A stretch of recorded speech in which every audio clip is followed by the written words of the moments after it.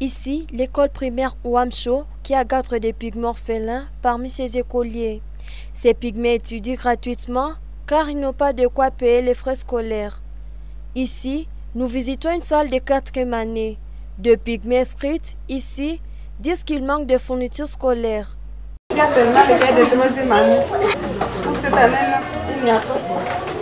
Cette situation s'observe dans d'autres salles de classe. Il manque de tous les nécessaires, fournitures scolaires, chaussures et autres.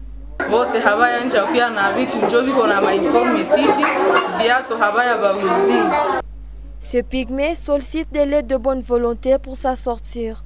Ils ont besoin de tout ce qu'il faut pour vivre et urgemment besoin de fournitures scolaires à ce début de l'année scolaire.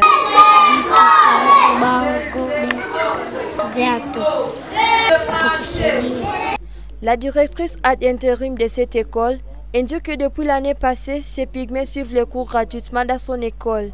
Elle reconnaît qu'ils ont beaucoup de difficultés financières et matérielles, ce qui pourrait nuire à leur épanouissement. Vraiment, les pygmées, ils sont là, ils n'ont même pas de fournitures scolaires, même des souliers, ils manquent. Donc, étudier, ils ne payent rien. Depuis l'année passée, on ne peut même pas trouver ça pour eux. Nous sommes en train de nous donner pour eux, car ce sont des vulnérables.